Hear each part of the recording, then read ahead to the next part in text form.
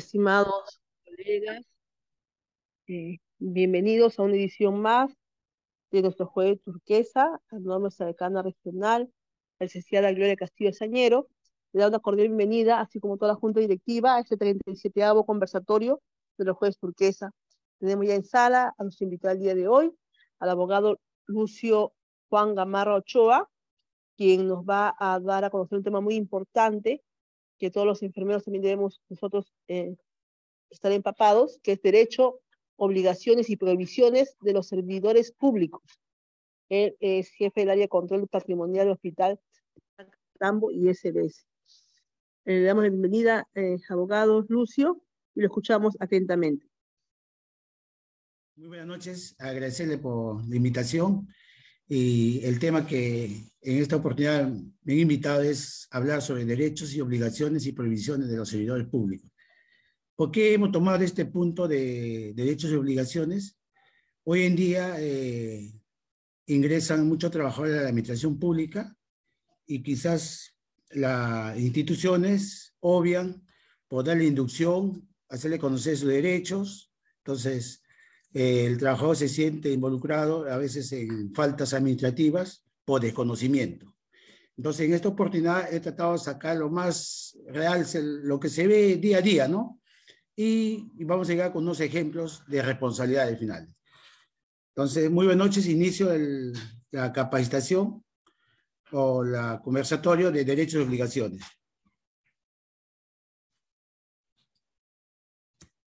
Femelita.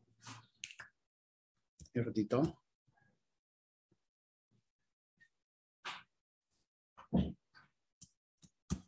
Quiero pasar.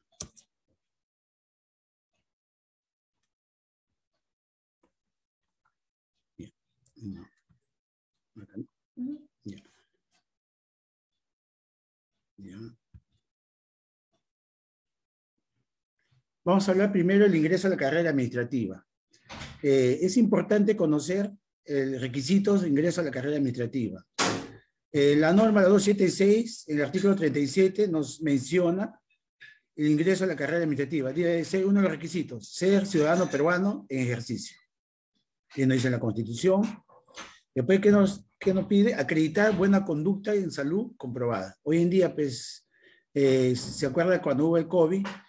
Eh, para ingresar nos pedían pues el, el salud ocupacional, darle la, el certificado de buena, buena salud, ¿no? Eh, después reunir los atributos propios del respectivo grupo ocupacional. Es muy importante, ¿no? Por ejemplo, somos el grupo de enfermeras o profesionales de la salud, para que trabajen en el sector salud, que no pide los requisitos. Tener el serum, haber terminado el serum, el título eh, y el perfil el grupo profesional donde va, o el área donde va a postular, ¿no? De repente pide una enfermera que esté para hacer la operación, entonces necesita con, con experiencia, ¿no? Y ser especialista. Después nos pide presentarse y ser aprobado en concurso, claro. Todo ingreso a la administración pública entra por concurso de admisión. Y lo demás que la ley señale, ¿no? Los documentos de, de gestión o realmente interno de las instituciones que se maneja. El otro punto es el ascenso en la carrera administrativa. Qué importante, ¿no? A veces dicen, ¿por qué no hay ascenso? Cada cinco años, cada tres años debo ver el ascenso, soy enfermera de nivel 10 o debe ser el 11, pasó, que es el, el 12, el 13, el 14. Y bueno, prohibieron los, los no sé, prohibieron, ¿no? prohibieron los ascensos, cambio de esto, ¿no? Pero en las instituciones se ve plazas vacantes, van, van cesando los trabajadores. Esa plaza que van cesando, la unidad de personal debe eh, hacer un concurso de ascenso, de nivel. Una vez alcanzado ese nivel, se deja el nivel de inicio para que los otros colegas, los otros profesionales, a eso lo convoquen. Entonces no debemos dejar pasar, acaba una enfermera con nivel 14 13 eh, se retira y de nuevo le llevan a una convocatoria libre. Entonces estamos creando la oportunidad de hacer el ascenso de otra enfermera que del nivel 12 sube a 13, el 11 sube a, a 12, el 10 sube a 11 y se queda con el 10 la plaza, ¿no? Entonces es muy importante eh, esto de los ascensos. Acá tenemos los, los derechos, ¿no? Son obligaciones de los derechos de los servidores. ¿Qué nos pide este? Este es muy importante, cumplir personalmente y diligentemente los deberes que impone el servicio público. Es muy importante cuando uno ingresa a trabajar en la administración pública, bajo qué régimen son. Somos 276, 1057 eh, o 728. En el Perú existe tres regímenes laborales, ¿no? Eh, nosotros, por ejemplo, en la administración pública, en el sector salud tenemos la 276 y la 1057, que es CAS. Entonces yo tengo que conocer mi institución, con cuánto régimen, a qué régimen estoy perteneciendo, ¿no? Entonces ahí tengo que ver a qué cumplir los, mis deberes y obligaciones. Si es 276, ahí tengo el reglamento interno de trabajo que tengo que cumplir. Y si soy CAS, tengo también en mis contratos, ¿no? Los deberes que debo cumplir. Después nos pide el segundo, salvaguardar los intereses del Estado y, y, emplear austeramente los recursos públicos. Debemos cuidar que se llama este, los intereses del Estado, ¿no? Ejemplo, nos, nos entregan un, un, equipo y debemos cuidarlo, ¿no? Debemos cuidarlo, debemos manejarlo, debe estar entrenado. Porque son del Estado, bueno, lo malo y listo, que me compren otro, no, sino debe, debemos salvaguardar los, los equipos del, y usar austeramente los materiales, ¿no? Por ejemplo, que trabajamos en, que trabajen en la parte hospitalaria, el uso adecuado de las gasas, de las torundas, ¿no? De los, eh, los materiales deben ser usados austeramente, adecuadamente. El otro punto es concurrir puntualmente y observar los horarios establecidos. Es muy importante, pero cada grupo ocupacional, ¿no? Tiene sus horarios de ingreso, ¿no? Sea hospitalaria, eh, de las 7 de la mañana, 1 de la tarde y 1 a 6, o turnos de 12 horas que deben eh, ingresar puntualmente. Y la parte administrativa tiene su horario, ¿no? De 8 a, a 4 eh, su horario. Eh, esto es muy importante en cada, en cada entidad, debe, debe estar señalado en un, un letrero los horarios de ingreso. ¿Por qué? Porque tenemos que tener respeto a nuestros a nuestros usuarios que deben conocer qué hora es la hora de ingreso. Eh, llegar puntualmente es, eh, debe ser lo adecuado. A veces llegamos tarde, la tardanza de cuentos T1, T2, T3 y inasistencia, ¿no? Hay que tener en cuenta que la tardanza se puede llevar a un proceso administrativo disciplinario cuando está cumpliendo. Entonces hay que tener mucho cuidado. Eh, no, no abusar, ¿no? Llegar temprano a la hora que, que señala la ley. Conocer exclusivamente los labores de cargo y capacitarse para un mejor desempeño. Es muy importante acá conocer exclusivamente los labores. Si me van a, por ejemplo, vamos en el grupo de profesionales de la salud, si me están, yo trabajo en emergencia, debo estar entrenado, capacitado para trabajar en emergencia. Si no estoy preparado, ahí va a haber las responsabilidades que puede suceder, ¿no? A veces por no está preparado o lo estoy, quien lo, quien lo designó a esa área y sin cumplir los requisitos, posteriormente podemos tener problemas eh, administrativas, eh, problemas legales en la parte civil y penal y ético, ¿no? Entonces hay que tener mucho cuidado. Entonces hoy en día tenemos una población muy empoderada que ya reclama sus derechos, ¿no? Ante cualquier problema, negligencia o, imprudencia, eh, ahí mismo ellos comienzan a decir, ¿qué personal estuve de turno? Tú A, B, C, D. Eh, B no tiene el título, no es especialista, no sé por qué está trabajando acá, ahí viene el problema. Entonces, tener mucho cuidado el momento que vamos a, a, este, ver el, el, lugar donde me van a, voy a trabajar, debo conocer exclusivamente mis labores y debo, debo estar capacitado para, una, para un mejor desenvolvimiento. Después, ¿qué nos pide? Observar buen trato y lealtad hacia el público en general, hacia los superiores y compañeros de trabajo. Entonces, esta es otro, otra debilidad que se ve en la administración pública. Eh, estamos mal vistos en el sector salud, eh, la policía, en el Poder Judicial, mal vistos estamos, ¿no? Entonces, ese trato debemos cambiar, ¿no? Entonces, si somos servidores de, del Estado y trabajamos, somos profesionales de la salud, ¿cuál es nuestra vocación? La vocación de servir. Un buen trato yo creo que no nos quita no, no nos va a quitar el, el derecho de ser profesional, sino dar un buen trato a nuestros usuarios, ¿no? Después, guardar absolutamente reserva en asuntos que revisten de carácter aún después de haber cesado el cargo. Estos son casi para los funcionarios o los jefes, ¿no? Entonces, este, Dios, la persona que fue jefe y ya le dieron término, entonces tiene que guardar reservas ahí, a veces este eh, plan de trabajos que todavía no se estaba proyectando, entonces eh, comienzan a divulgarlo, comienzan a sacarlo acá, no. Eso también es se apertura un proceso administrativo porque no está guardando absolutamente reserva en los asuntos que reviste de carácter después de haber cesado el cargo, ¿no? Entonces hay que tener mucho cuidado. Informar a la superioridad los actos delictivos. Claro, hay que comunicar. Si ve un acto que se llama delictivo o de inmoralidad, hay que comunicar a nuestro superior.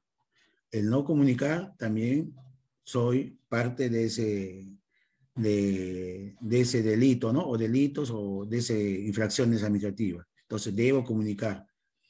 lo demás que señale la ley y su reglamento. Cada institución tiene un RITS, un reglamento interno de trabajo. Entonces, también tenemos que estar, hay que conocer esos reglamentos. ¿Y qué nos prohíbe eh, a los servidores públicos? ¿Qué nos, ¿Qué nos prohíbe? Realizar actividades distintas al cargo en horario normal de trabajo. Si yo soy enfermera, he venido a trabajar hacia la parte, no puedo estar haciendo eh, eh, funciones que no, no corresponden, ¿no? Salvo labor docente. Y con esa labor docente, claro, hago labor docente, pero fuera de mi hora de, trabajo, ¿no? Hago docencia, tengo que, o es una institución que tiene autorización para ser docente, entonces están autorizados para hacer docencia. Eh, percibir eh, retribuciones de terceros. No puedo decir dádivas o no, o meter prohibido. Entonces, el otro punto es realizar actividad política y partidaria. También prohíbe, ¿no? Cuando hay campañas, entonces en hora de trabajo comienzo a hacer mi eh, actividad política, eso me prohíbe la ley. Después, ¿qué me prohíbe? Emitir opinión a través de los medios de comunicación social sobre asuntos del Estado, salvo autorización expresa. Acá es muy importante, eh, quiero resaltar, hoy en día las, este, las redes sociales, el periodismo, ¿no? A veces ante un hecho que sucede dentro de una institución, eh, un profesional de la salud X y comienza a preguntarle, ¿qué sucedió? Ah, que comenzó esto, es así, A, B, C, D. No, eso está prohibido. La única persona autorizada como vocero para emitir opiniones hacia el público es el titular. ¿Quién es el titular? El director o el jefe salvo que delegue. Por emitir una opinión que no está autorizado, lo pueden aperturar un proceso administrativo disciplinario. Entonces, hay que tener mucho cuidado cuando vamos a emitir opinión a través de medio de comunicación. Así sea de campañas, actividades, quien está autorizado es su jefe inmediato o el titular. Por eso tenemos que conocer cuando hay actividades de campañas, actividades en primer nivel, se hace un cronograma, se le hace conocer al titular y el titular tiene conocimiento ya, ¿no? Tiene conocimiento y autoriza para que se haga a través de los jefes de evento hacer su, su publicidad o dar opinión hacia el al público, pero ya con una autorización. El otro punto es celebrar por sí con terceras personas de intervención directa en contrato. Hay muchas personas que se hacen pasar, sí, yo sé lo contrato, te contrato acá. No, eso está prohibido. ¿no? Y además que la ley señale en el reglamento. Después tenemos el otro punto, son derechos de los servidores públicos. Ahí sí, acá a veces hablamos de deberes y derechos, también tenemos que tener cuál es nuestro derecho. Hacer carrera pública en base a mérito sin discriminación política religiosa. ¿sí? Eh, la 276 nos autoriza hacer carrera en mérito, mm, capacitarse, prepararse eh, y darle todas las facilidades, ¿no? Sin alterar el funcionamiento de las actividades que estamos programados. Después, ¿qué nos, qué otro derecho que tenemos? Gozar de estabilidad. Ningún servidor puede ser cesado ni destituido sino causa prevista. Nadie puede venir una autoridad un funcionario bien, ¿sabe qué? Te vas, no te quiero ver, tu morón. No. El trabajador tiene derecho a conocer el motivo y el por qué lo están cesando. Y si me están cesando, tendrá que aportar un proceso administrativo disciplinario y tener el derecho a defenderme o llevar un debido proceso. No puede ser que autoritariamente forma me dice, ¿sabe qué? Hasta acá nomás No, ni por más que sea nombrado ni contratado. Todos tenemos un un debido proceso. Entonces ahí tendré que defenderme, debe, en el proceso administrativo no y se agotó la vía administrativa y veo que no, no, no tengo este, este, respuesta, puedo irme a la vía judicial a un proceso contencioso administrativo. O sea, no se ha agotado todavía. Mía, mía que tiene los derechos del servidor público, ¿no? No puede ser destituido así arbitrariamente. Tengo el debido proceso a conocer y llevarse un debido proceso, un proceso disciplinario, defenderme en primera instancia, segunda instancia y la tercera que es la vía judicial. Después, percibir la remuneración que corresponde a su nivel, incluyendo las bonificaciones y beneficios que procedan conforme a la ley. Eh, a veces no conocemos de qué nos pagan nuestras remuneraciones, ¿no? Entonces debemos conocer y de acuerdo a nuestro nivel. De acuerdo a nuestro nivel, nivel, por ejemplo, usted como enfermera son nivel 10, nivel 11, nivel 12, y tiene, ¿no? Viene una guardia, la guardia que le paga, pues según el nivel, ¿no? Todos sus beneficios según el nivel. Entonces debemos conocer y eso sí debe estar acorde. Son derechos que la Constitución ampara en la parte remunerativa. Después, ¿qué nos pide? Gozar anualmente de 30 días de vacaciones remuneradas, salvo acumulación convencional hasta dos periodos. Entonces, eh, acá tenemos otro, otro problema, casi se ve en las instituciones. Este, me suspenden mis vacaciones, que voy a tomar 10 días, 5 días. No, son 30 días, caso, o, o 15 días. Pues si se va a suspender unas vacaciones, por favor, tenganlo presente. Si me suspenden por necesidad de servicio, tiene que emitirse un memorando de mi suspensión de mis vacaciones y motivando el motivo por qué me están suspendiendo. Si no hay así verbalmente, me dice, ¿sabe qué? Te suspende ya, pues te que tómate el otro 15 días después. Viene una acción de control, no hay el sustento, lo pierde esa vacación, hasta puede perderse el proceso administrativo.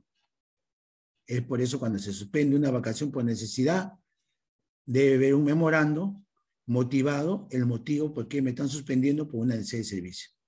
Quizás se enfermó al colega, el otro se dio vacaciones, X motivo, motivo por el cual no hay quien cubre ese espacio, se suspende 15 días o los 30 días, después doy mi vacación. Entonces, las vacaciones cuando se suspenda, tiene que ser bajo un memorando y motivado, sustentando el motivo por qué me están suspendiendo.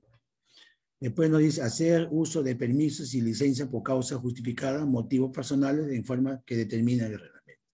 Cuando se habla de licencia, podemos tener licencia justificada, licencia por matrimonio, eh, licencia por un familiar directo que esté enfermo, o tenemos padres o familias este, con problemas, cáncer, por ejemplo, cáncer terminales o enfermedades terminales, eh, se puede dar la licencia, ¿no? Y si tengo mis padres que están en esa situación enfermos, ya con un problema de una enfermedad terminal, hasta puedo pedir vacaciones del próximo año. Por ejemplo, estoy en este año 2023 y ya tomé mis vacaciones, pero tengo mi familiar enfermo, yo puedo solicitar mis vacaciones del año 2024, ¿no? O mis licencias, o mis vacaciones también. Entonces, por favor, las vacaciones o los permisos de licencia son, dentro de la administración pública, son 90 días. Después de los 90 días hay que justificarlo. Eh, obtener préstamo administrativo de acuerdo a la norma pertinente. Claro, acá cuando hablan de préstamos eh, se maneja el, el SUCAFAI que da préstamo, ¿no? Esos son los reglamentos internos. Después nos habla acá, reincorporarse a la carrera pública al término de que desempeño de cargo. Un de repente que sea un, un profesional de la salud, eh, se fue como jefa de, en la Dirección Regional de Salud o otra institución, eh, eh, hizo este, su plaza, lo bloqueó, terminó su plaza y se reincorpora a la carrera, ¿no? A la carrera que sigue desempeñando. Esos son derechos de los servidores públicos de carrera. tenemos ejercer docencia universitaria sin ausentarse del servicio más de seis horas semanales la norma acá, nos, la 276 a los servidores públicos les autoriza hacer docencia universitaria. Y cuando hacemos docencia universitaria, tenemos que presentar nuestro rol y cuándo lo vamos a devolver esas horas, ¿no? Entonces, acá nos da más de seis horas semanales. Entonces, de repente, el lunes me tomo, voy a devolver dos horas, una hora, dos horas, entonces estoy en ese derecho, la ley me, me faculta, ¿no? Cuando hago docencia universitaria. Eh, recibir menciones, distinciones, condecoraciones. Sí, pues la institución debe, debe este, felicitarle, ¿no? Al trabajador con, ¿no? De acuerdo a los méritos personales, ¿no? Eh, no solo es este, menciones económicas, ¿no? También tenemos condecoraciones, distinciones que puede, que la institución lo felicita a, a los servidores.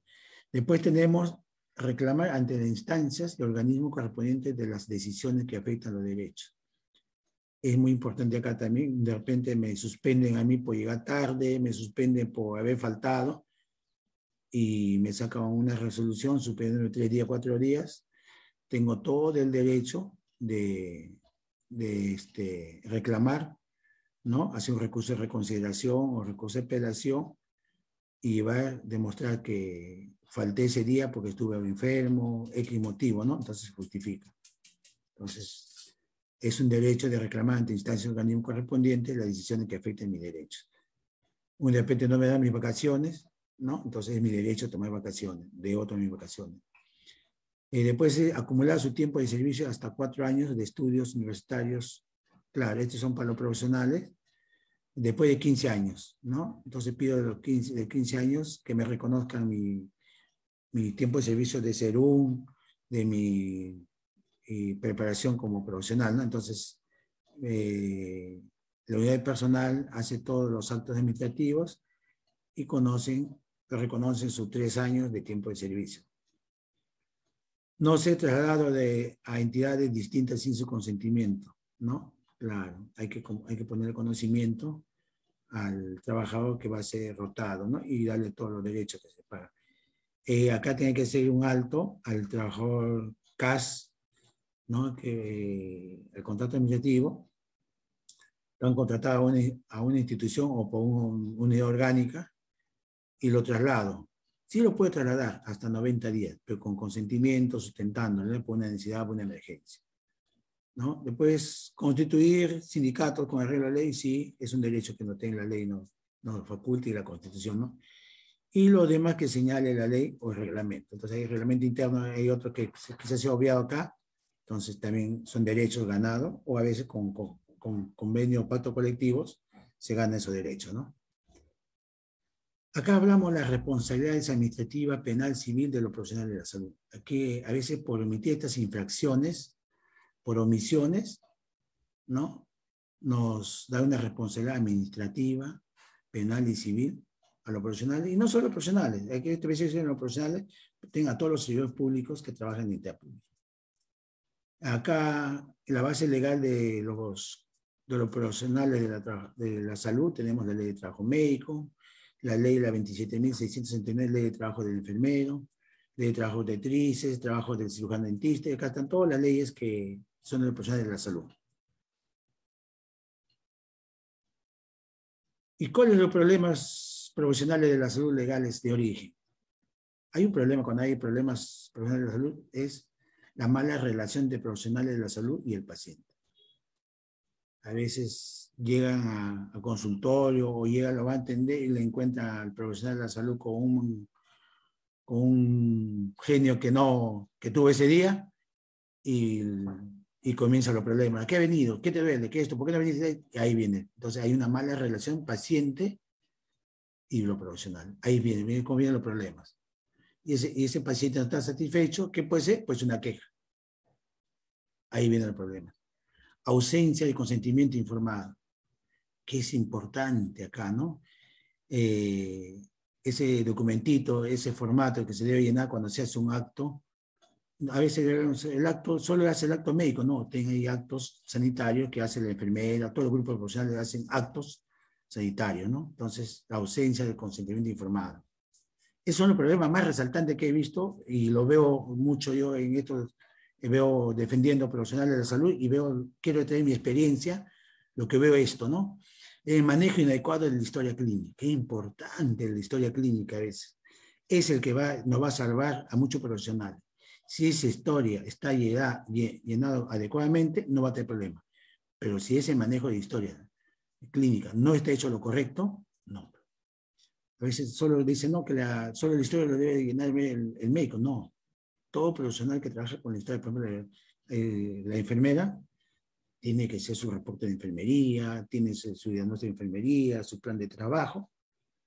Cuando nosotros tomamos un caso legal defendemos a un trabajador y nos vamos a eso en las historias clínicas. Y debe estar su sello, su nombre, firma y listo. Lo otro, comentarios antiéticos por parte de los profesionales de la salud y con otros. Ese comentario, no que, ah, lo ha tratado mal, no sabe esto, creo, delante de los familiares, delante de los familiares, de los pacientes, ahí viene. Entonces son parte ética, ¿no? El incremento de profesionales de derecho especialista y responsable profesional. Hay muchos profesionales jóvenes, profesionales que ahora se están especializando en derechos de responsabilidad profesional. Bastante. Entonces, hay que tener bastante cuidado y ver esto, ¿no? Entonces, nosotros debemos conocer, todo profesional de la salud debe conocer la Ley General de Salud, la 26.842. Ahí está. Deberes y derechos de los profesionales de la salud, del paciente. Ahí está.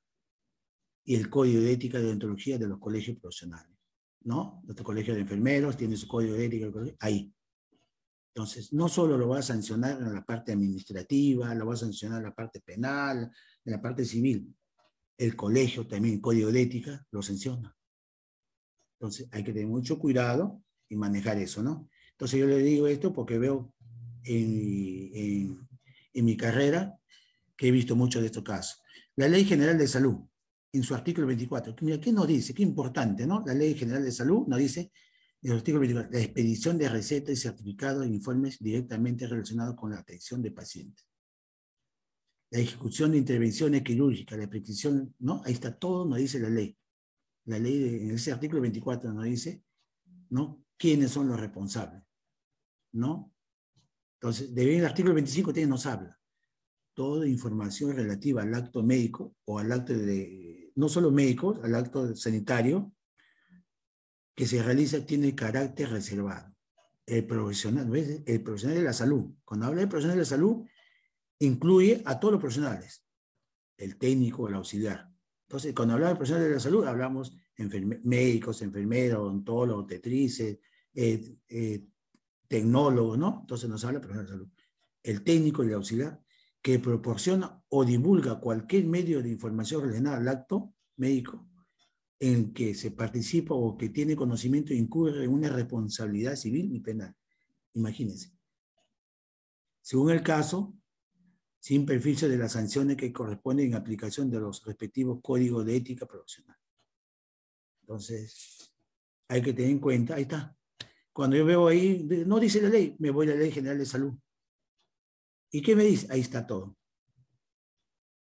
Y este artículo 36, que ahí nos señala quiénes son los responsables. Los profesionales, profesionales de la salud, técnicos y auxiliares, a que se refiere este capítulo, son responsables por los daños y perjuicios que ocasionan al paciente por el ejercicio negligente, imprudente, impérito de sus actividades.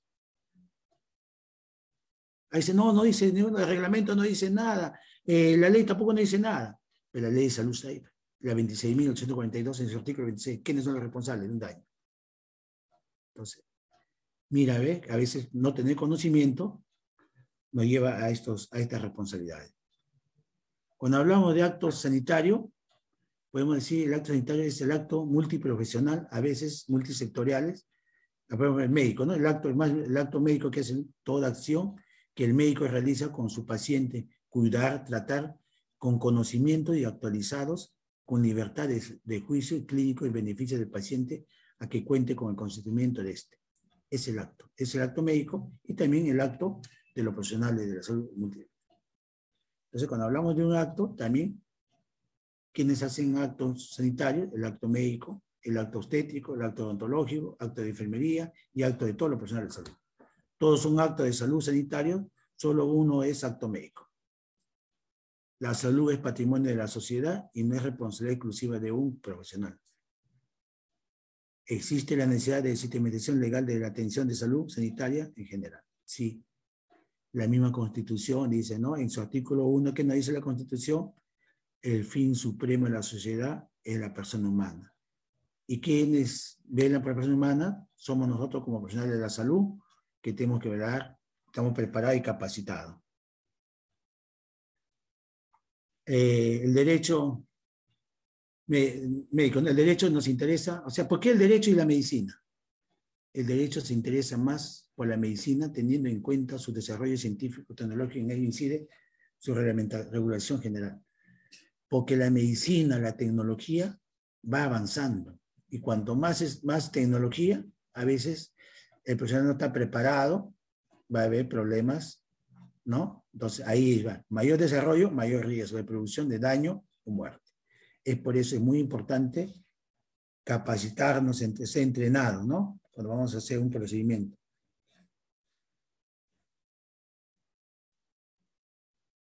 En la responsabilidad del profesional de la salud. Es el médico o profesional de la salud, paciente, ¿y por qué le pongo abogado? Ante un mal acto al paciente que va a intervenir un abogado. En la Ley General de Salud, el término del paciente o enfermo ha desaparecido. Hoy en día se conoce como usuario de los servicios de salud. Artículo 15 de la Ley de Salud. Entonces, cuando hablamos de responsabilidad profesional, todos, no el médico, no, ahora no. Todos somos responsables, quienes intervinieron en ese acto son responsables, ¿no? De una forma, ¿no? Entonces, paciente, antes de el paciente ahora son los usuarios, con el profesional médico o profesional de salud, lo va a defender es el abogado.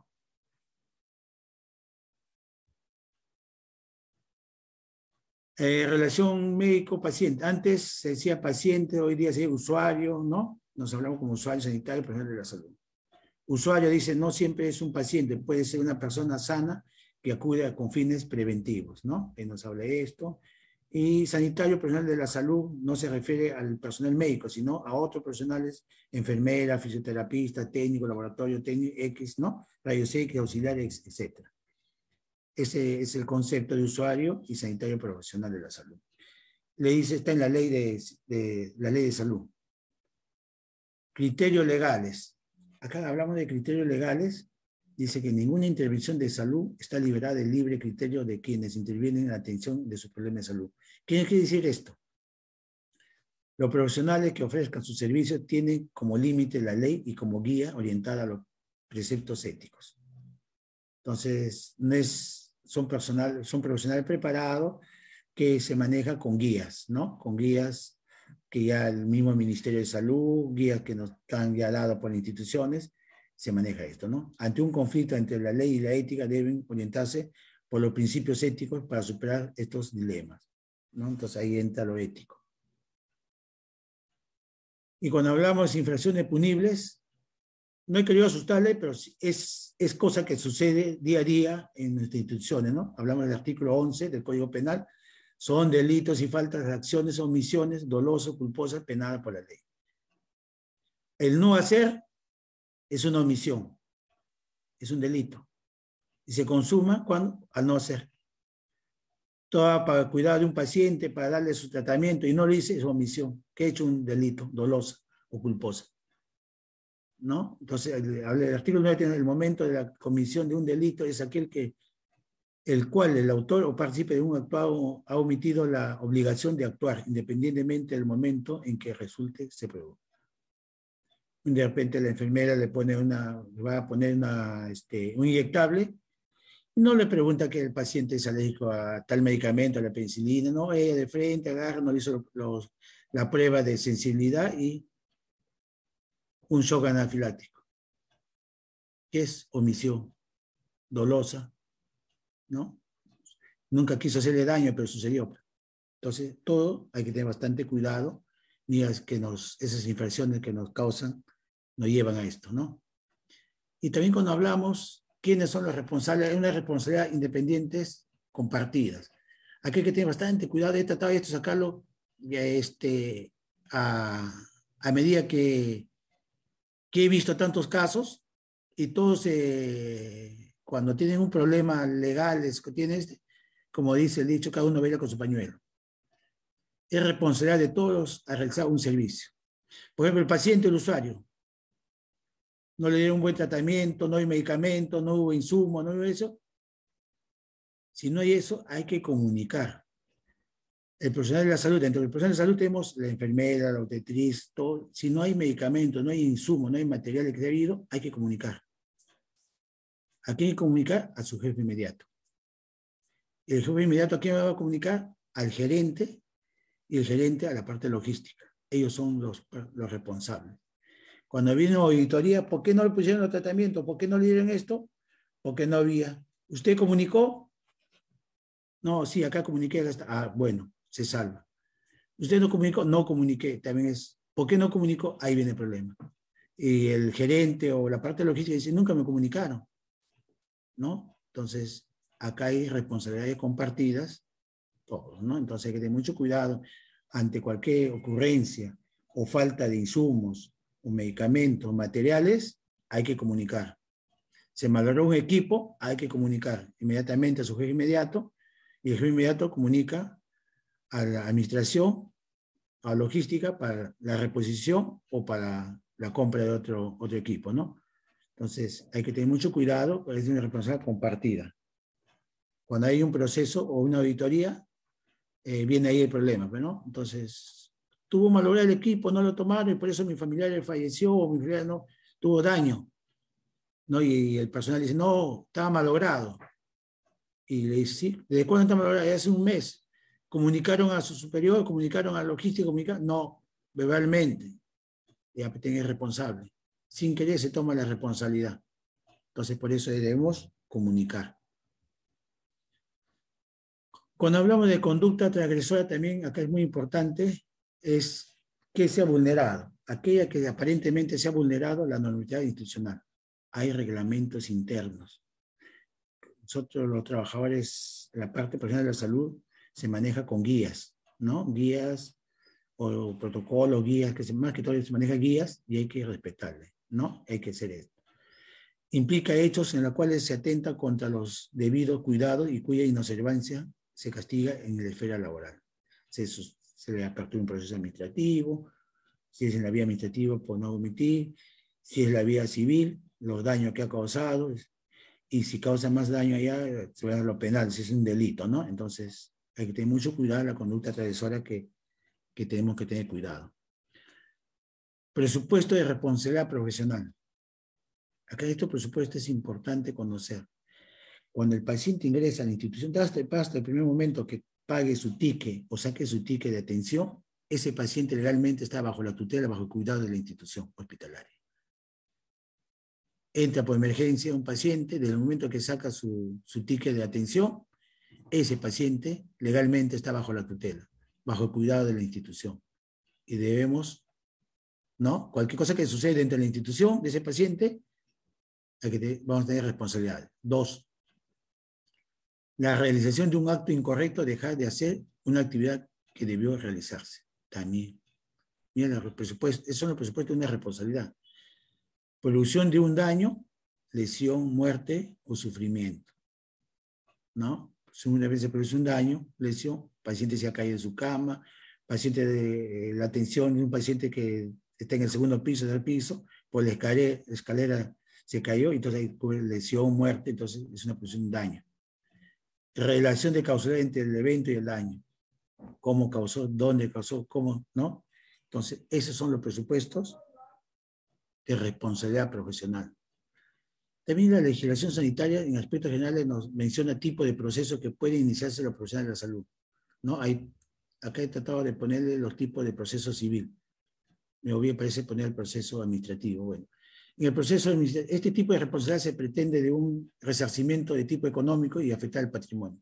Sí, pues, paciente por eh, X motivos eh, se le hizo un daño y nos vamos a la vía judicial y tenemos que resarcir eso, ¿no? ¿Cómo se inicia de un proceso?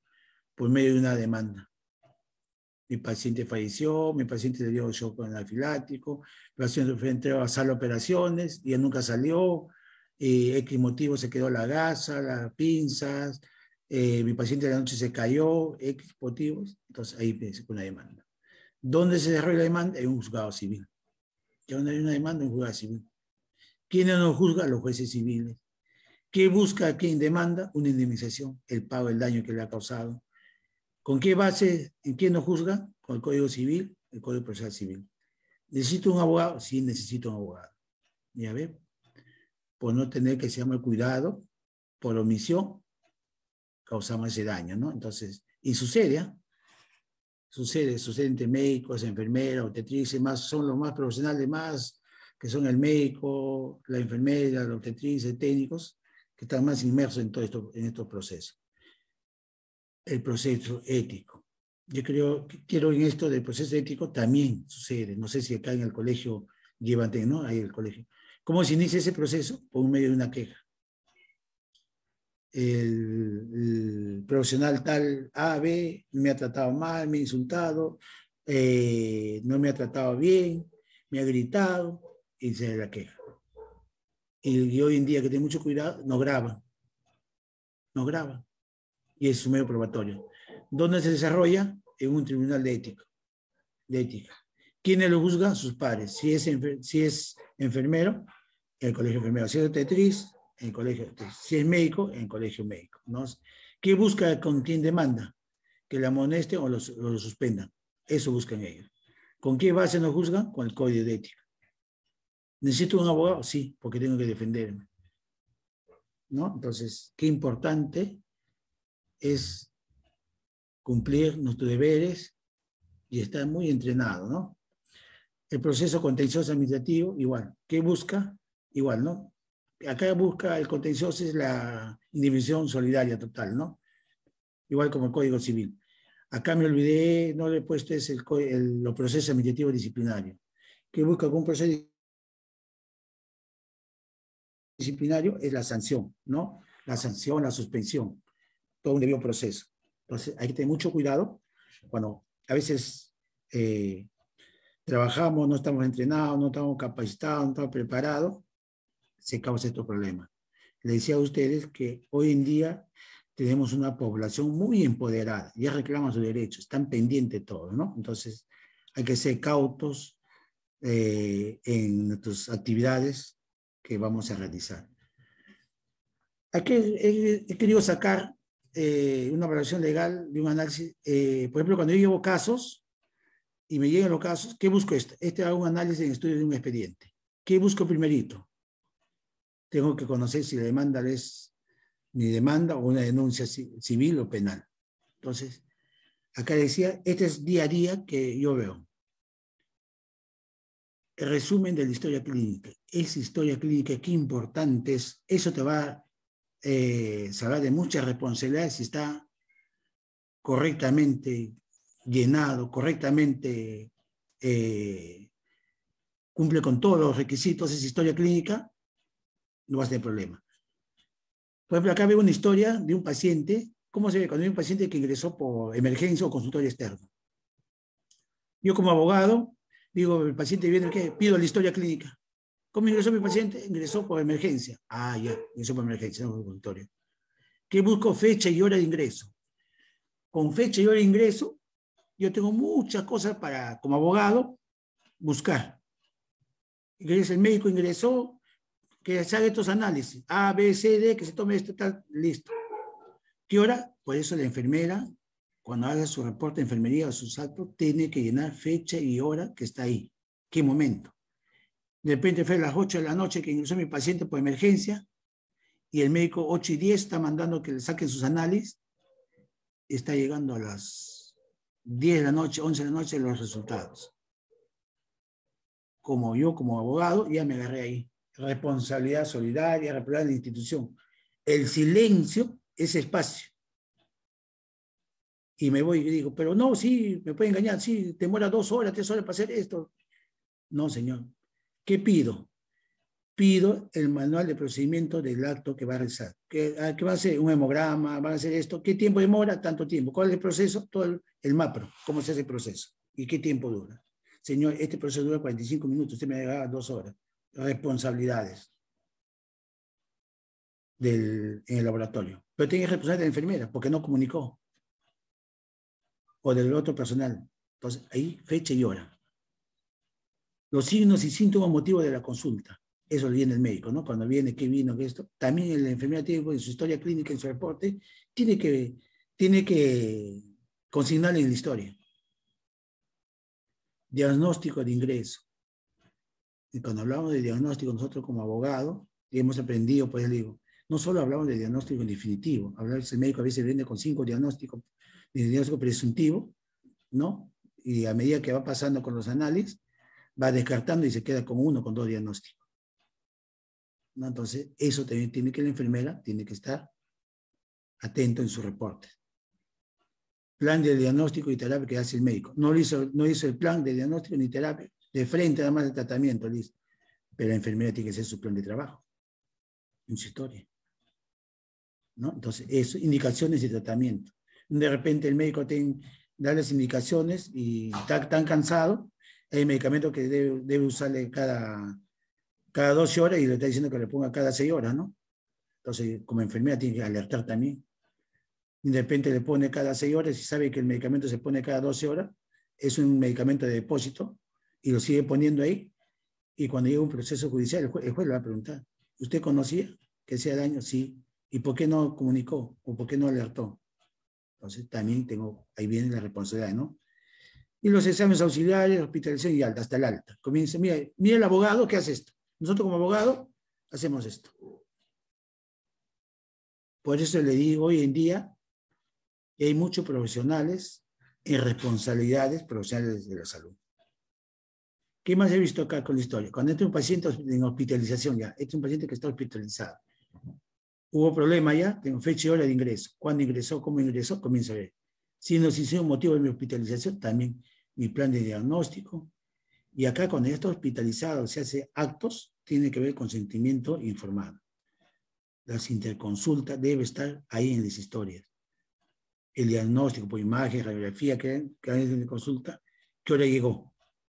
Porque nosotros no vamos a, nosotros como abogados decimos, no, pero ese el diagnóstico, si le hubiesen tomado la radiografía inmediatamente, ya habíamos sabido que había tenido, si hubiese actuado. Lo han hecho después de dos horas, tres horas. Entonces, ahí viene el reporte. Ya nos vamos agarrando y ya tenemos algo que, que se sustenta en tu demanda. ¿No? Y exámenes especiales, ¿por qué no tomar esos exámenes especiales? ¿Por qué el plan terapéutico está esto? De repente esos exámenes especiales no, está, no se hacen en este hospital o en mi institución. Hay que tener mucho cuidado yo tengo que tener, si en mi, hospital o mi institución, donde su nivel tiene la capacidad resolutiva para, para, tomar, para hacer estos exámenes o tiene la capacidad resolutiva para, para ese diagnóstico o para el tratamiento. Si no tengo, tengo que trasladar a la otra institución. Y si comienzo a, a darle tratamiento y no, no responde, ¿qué me voy yo? Esta institución no ha tenido, no, es, no está preparada, su nivel no es para que tenga capacidad resolutiva para ver estos, diagnósticos. Y por lo tanto es responsable tanto el médico, en las instituciones y comience mi demanda. ¿Por qué busco una indemnización? ¿No? Entonces, por eso siempre digo que las historias clínicas es el que le va a salvar a, a muchos profesionales. Y cuando hablamos de valoración legal, evolución médica y de enfermería. También fecha y hora evolución diaria, supervisión de plan diagnóstico terapéutico, complicaciones, ¿no? Comitantes y gráficas de funciones vitales. ¿Por qué le pongo en gráfica de funciones vitales? Que a veces lo llenan. No, está tanto, ponle tanto, ponle tanto. Y no hay una relación con el monitor. Y también ahí viene lo otro problema. Eh, características, fecha y hora, que es muy importante, eh, cada vez que va a evaluar hay que poner la fecha y la hora. Entonces, ¿por qué tengo que poner fecha? Sí, pues hasta hoy día, hasta las 11 de la noche, hoy día estamos 23, después de las, de las 12, ya no es 23, es 24. Entonces, no, así el día 23, sí, pero 23 es hospitalización en la noche, por ejemplo, hoy día, ¿no? Pero ya después de las 12 de la noche ya no es 23, es 24. Entonces, señalar sin síntomas, apreciación médica, operación de enfermería, que puede ser, plan a seguir, indicaciones con letra clara y legible firma del Colegio Médico del Perú, Colegio Enfermero, Colegio Obstetrices, quienes los profesionales que lo están evaluando. Y si no tiene eso, también es una omisión. Entonces, eh, lo estoy contando esto como una experiencia que se ve que los profesionales de la salud ahora tenemos preparados, especializados, así como tenemos profesionales abogados en, en corrupción de funcionarios, acá tenemos profesionales en responsabilidades de los profesionales de la salud. ¿No? Entonces, eh, ¿qué sigue en conclusión de esta valoración? ¿Qué llegamos nosotros? Cuando llegamos, si se pudo o evitar o prever el daño, ¿se pudo o no se pudo? Entonces ahí tenemos que sacar. Si fue cuidadoso, diligente y prudente, tenemos que ver de acuerdo al, a la historia, de acuerdo al caso que se Se cumplió lo establecido que o incurrió en inobservancia, omisión, olvido de las pautas establecidas, lo hizo lo correcto, no lo hizo lo correcto. Si era la única forma de interpretar el cuadro clínico y dar tratamiento como hizo, la existencia posibilidad, ¿era o no era? Entonces, esas son las conclusiones que se va quedando. Si contaba con los conocimientos y habilidades necesarias para actuar en casos similares. Acá viene el problema. Si el personal es preparado, especializado entrenado, ¿qué busco yo? Me voy a la SUNEDU o me busco al colegio médico o al colegio enfermero a la SUNED digo, sí, la enfermera es instrumentista, pero no es instrumentista, no tiene nada ahí, pues está en sala de operación y que no tiene capacidad, ¿cómo está allá? Ahí viene el problema, usted no está entrenado, o está entrenado, pero no tiene que le sustenta legalmente la certificación. Si se agotó todas las posibilidades técnico-científicas para realizar el diagnóstico adecuado, lógico, si se hizo todos los tratamientos, se mandó todos los análisis auxiliares, radiografía, tomografía, resonancia, y no se pudo dar se aplicó la terapéutica adecuada para proteger al paciente. Entonces, son conclusiones que se va sacando, ¿no? Entonces, de todos los errores. Y eso lo hacemos nosotros como abogados. A veces dicen, no, usted es super médico. No, como abogados nos ha enseñado ya el día a día. Entonces, he tratado de que se llama de hacer los resumen. Mira que llegamos por, por omisiones de faltas administrativas, llegamos a esto. Ha sido todo. Gracias. Muy bien, muchísimas gracias entonces, el abogado Lucio, por su excelente presentación, por resolver las dudas y consultas de sus colegas. A nombre de la decana regional, la licenciada Gloria Castillo Sañero, les tendemos un cordial agradecimiento y un abrazo fraterno por su buena disposición a compartir con nosotros en esta edición más de los Jueves Turquesa. Muchas gracias, licenciada. Muy bien, estimados colegas, entonces le invitamos a registrar su asistencia, se va a colocar nuevamente el link y lo esperamos la próxima semana en una edición más de nuestro Jueves Turquesa.